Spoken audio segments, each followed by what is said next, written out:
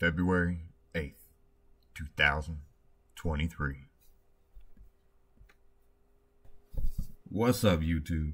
Cooper here, the host of Armored Core Daily News. Here to bring you not an Armored Core update, so to speak, but more of a fan made project.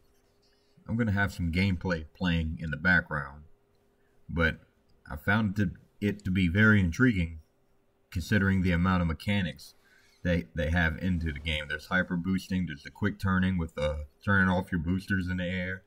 The ability to climb, scale buildings. Also the ability to uh, fly and hyper boost off top of those. Um, if a fan is making is making levels like this, you can only imagine what FromSoft is going to be able to pull off.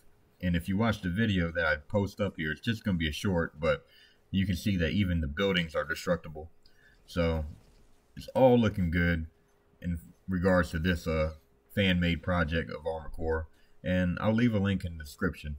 Um, that's all I got for you guys. Thank you. Peace.